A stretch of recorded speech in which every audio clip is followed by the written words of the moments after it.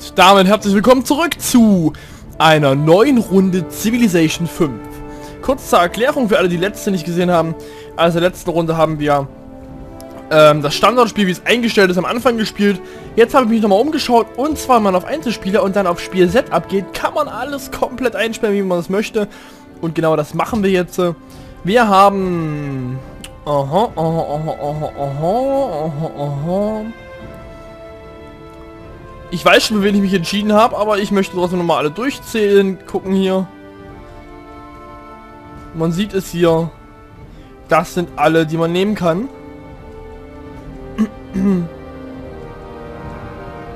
Ach, guck mal, hier kann man sogar... Ah.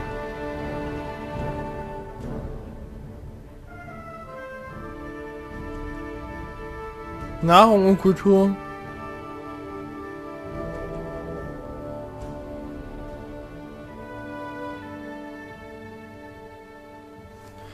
Aha.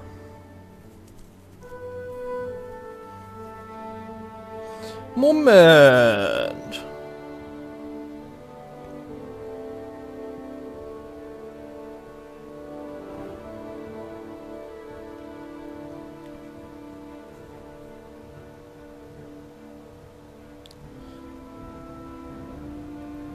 Okay.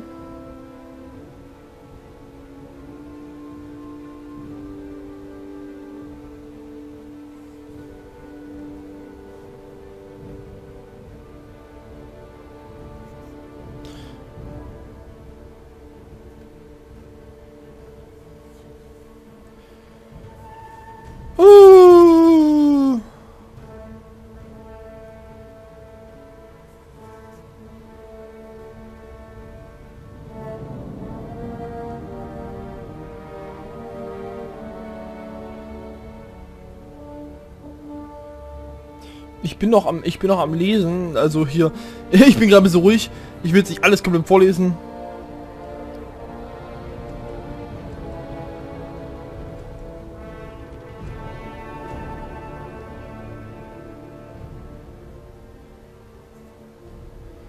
Okay.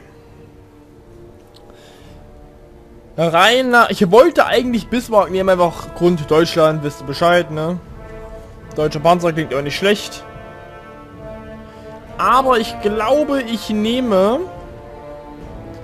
Moment, wo war's? Ähm...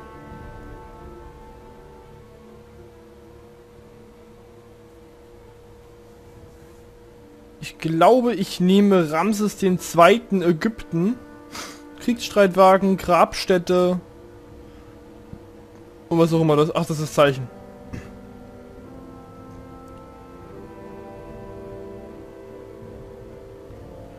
Oder ich nehme Montezuma.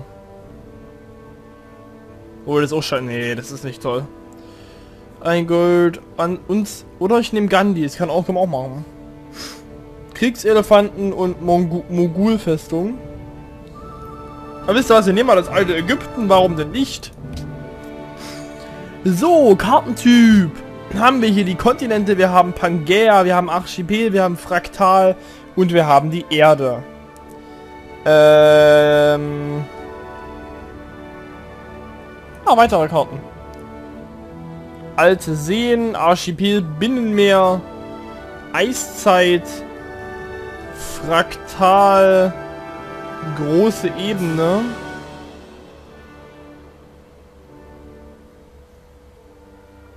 Oh mein Gott, es geht da weiter. Hochland, kleine Kontinente, Kontinente Norden gegen Süden, Oval, Pangea, Ring, Scharmütze, Seen, Terra, Vierecken, Westen gegen Osten, winzige Inseln. Und ich würde aber mal sagen, wir nehmen die Seen, die sehen nämlich sehr gut aus. Da haben wir eine große Map und äh, zwischendrin mal ein bisschen Wasser. Kartengröße wird diesmal riesig sein. Ja, seht, klein, wir haben mit der halb, nicht mal, die ist sogar dreimal so groß fast. Schwierigkeitsgrad war bei uns Häuptling. Ist, äh, um das Spiel zu lernen, Anfänger, leicht, normal. Die KI erhalten kleine Vorteile, um ihr Spiel zu verbessern. Sehr schwer, die KI erhalten Vorteile, um ihr Spiel zu verbessern. Extrem schwer, die KI erhalten deutliche Vorteile, um ihr Spiel zu verbessern. Nur die besten Spieler können auf diesen Schwierigkeiten. Wir nehmen mal Prinz. Ich würde gerne mal Prinz probieren. Und beim Tempo würde ich sagen, nehmen wir einfach mal Marathon. Aus dem einfachen Grunde, dann dauert das alles mega lange. Und äh, wir können perfekt auf jede Epoche eingehen und ordentlich fighten. Und wahrscheinlich das Spiel gewinnen, bevor die Zeit abläuft. Erweitertes Setup. Siegtypen. Zeit, Wissenschaft, Kultur, Diplomatie. Machen wir aus. Super, geil. Äh, Kartentyp, Kartengröße, Schwierigkeit, Spieltempo, Spielzeitalter, starten in der Antike. Gell? Genau, wir starten in der Antike. Alter der Welt, 4 Milliarden Jahre. Keine Ahnung. Temperatur gemäßigt.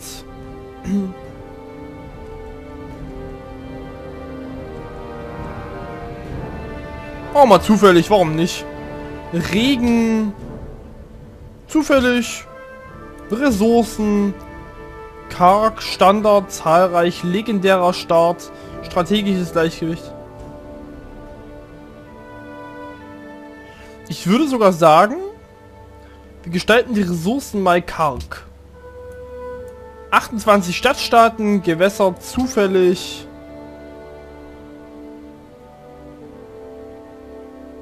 Kleine Seen. Erweiterte Spieloptionen, maximale Runden, Einstadtwettkampf, ermöglicht den Spieler Beförderung. Ähm, keine alten Ruinen. Keine Barbaren, keine Stadtvernichtung, keine Stadtvorgaben. Keine Startvorgaben. Komplette Vernichtung. Schneller Kampf, Fort, äh, Schnellfortbewegung, wütende Barbaren. Zufällige Persönlichkeiten, Zufallsgenerator. Spiel starten. Wir grüßen Wir euch. grüßen euch, o große Ramses, Pharao von Ägypten, der die Sonne aufgehen und den Nil fließen lässt und der seinem glücklichen Volk alle guten Dinge des Lebens beschert. O großer Herr, seit Menschengedenken lebt euer Volk am Ufer des Nil, von wo aus es der Welt die Schrift, fortgeschrittene Mathematik, Bildhauerei und Architektur schenkte. Vor Jahrtausenden errichtete es riesige Monumente, die in ihrer Größe stolz bis heute stehen. O Ramses, euer Volk hat unzählige Jahre überdauert, während andere unbedeutende Nationen um euer Land herum zu Ruhm kamen und wieder zu Staub zerfielen. Es erwartet von euch, dass ihr es noch einmal zu Größe führt. Könnt ihr den Göttern die Ehre erweisen und Ägypten wieder an seinen rechtmäßigen Platz im Herzen der Welt setzen? Könnt ihr eine Zivilisation errichten, die die Zeit überdauern wird? Und ob wir das können, Errichter der Monumente, 20 Produktionen für Wunderbau, Kriegsstreitwagen und Grabstätte. Beginnt eure Reise. Und es sieht so aus, als wäre es ein ähm, heißes Klima. Ja, und wir starten einfach mal direkt hier mit der Stadtgründung.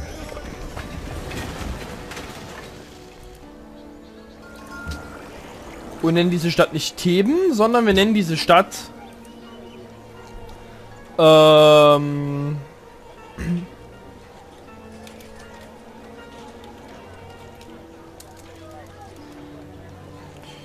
Das ist, äh...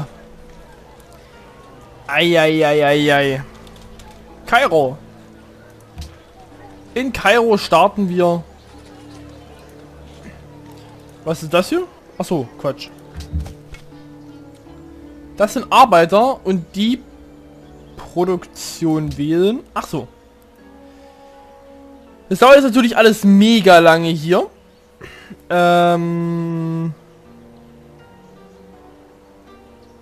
ich baue erstmal ein Monument. Baue ich ein Monument?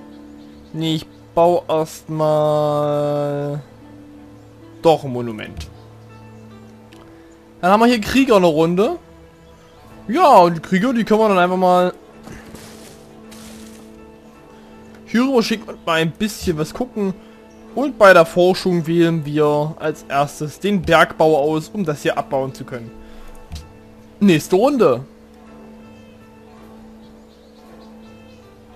Wir haben es 4000 Jahre vor Christi und wir starten wieder. Und ich weiß nicht gar nicht, geht das jetzt nur ein Jahr zurück? Das wäre natürlich krass, dann hätten wir über 4000 Runden. Also locker 6000 Runden. 15 Jahre geht es nur zurück. Vorher ging es 50 Jahre zurück. Also das wird noch ein bisschen dauern, hier meine Freunde. Einheit benötigt Befehle. Und da haben wir schon Wein gefunden. Und äh, Kairo.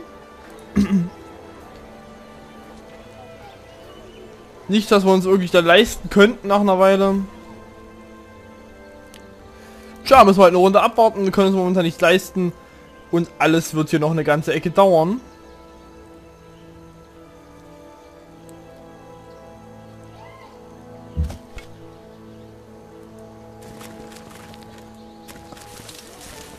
Dann erkunde ich halt mal hier die Gegend. Nächste Runde.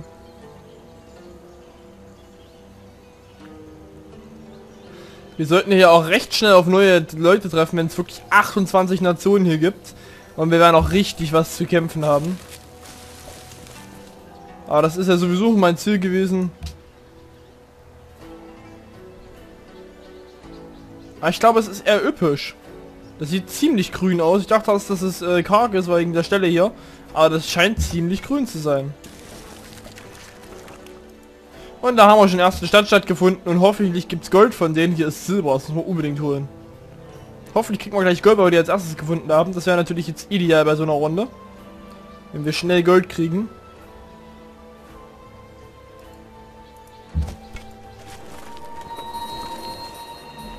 Jawoll, ihr habt die Stadtstadt Belgrad gefunden. Ihr seid die erste Großmacht, die auf sie treffen. Daher schenken sie euch 30 Gold. Dankeschön. Genau sowas wollte ich. Nächste Runde. Sieht noch voll geil und putzig aus. Es sieht schon fortschrittlicher aus als hier. Eigentlich kann ich ja...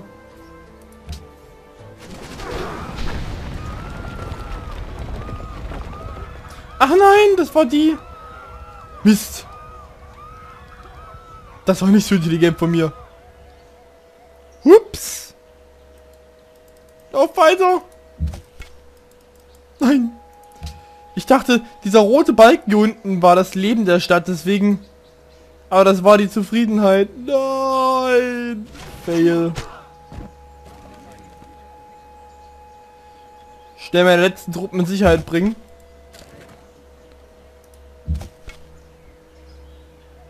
Okay, nächste Runde. Ich hoffe, die sterben jetzt nicht. Das war jetzt natürlich nicht so die Pracht äh, von mir. Aber die Stadt an sich hätte ich trotzdem gerne, weil wir mit der Stadt Silber bekommen können. Ha, ha. Zwei Leben noch. Oh mein Gott. Oh mein Gott. Jawoll. Und da haben wir die nächste gefunden. Ragusa. Schließen. Ähm. Ja, nächste Runde. Jetzt sind wir schon mal über 100 Gold, auch im Auszusehen gerade einen Krieg angefangen haben mit der einen Stadt, das ist ja nicht so schlimm. Diese eine Einheit hier, die äh, wird nach und nach sowieso wieder ähm, zurechtkommen, wenn wir die anfangen dann aufzuheilen. Aber momentan will ich mit denen noch ein bisschen laufen.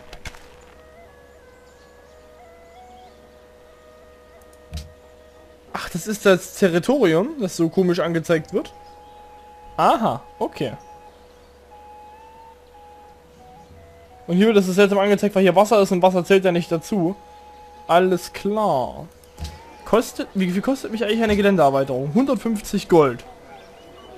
Ah, da ist sowieso keine gute Gelände, aber Geländeerweiterung mit dabei. Äh, Quatsch. Schließen.